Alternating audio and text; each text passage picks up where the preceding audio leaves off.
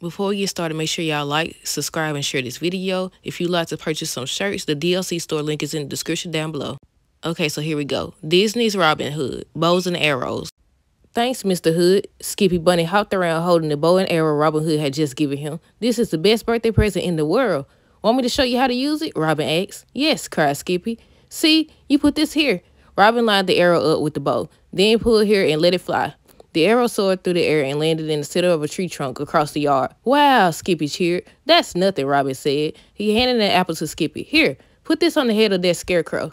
Sure thing, Robin, Skippy said and hurried off. As soon as the apple was in place, Robin let another arrow fly. It zipped through the air and hit the apple, neatly slicing it in two. Can I try? Skippy asked. All right, Robin said, placing the new apple on top of the scarecrow's head. Skippy pulled back the bow.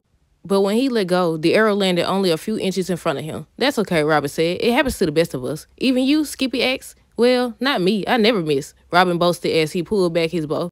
Just as he did, Maid Marian's carriage rolled by. Robin's head turned and his hand slipped off the bow. The arrow fell to the ground a few inches in front of him. Skippy giggled. What's so funny? Robin asked crossly. Nothing, Skippy said, hiding a smile.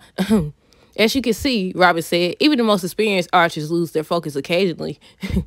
but it helps if you think of a goal and keep your goal in mind while you draw the string back. Aim and let go. I like to think about setting the sheriff's pen so far. what? Skippy decided to give it a try. He pulled the string back and then he let it go with a twang. The arrow sailed through the air and split the apple in two. Robin's trick had worked. The end.